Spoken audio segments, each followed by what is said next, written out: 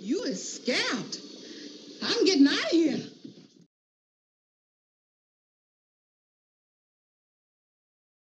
How is Garçon? Is she all right? The operation was a complete success. That's wonderful. Now I can show Garçon in the dog show tomorrow. Come, Garçon. No, oh, no, he must rest here for a few hours.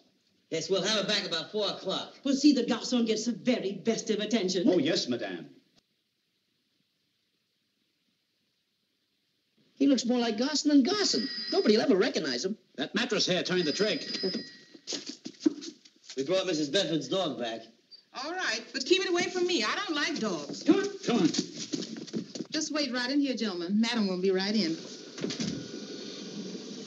Go away, dog. Go away.